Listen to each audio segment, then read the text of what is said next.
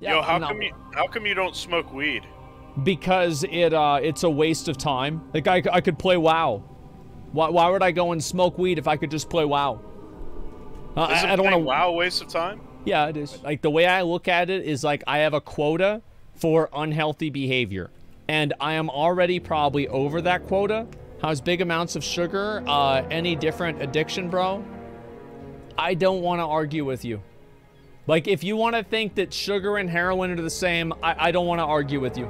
I, I just think whatever you want. Go do heroin. Like that's fine.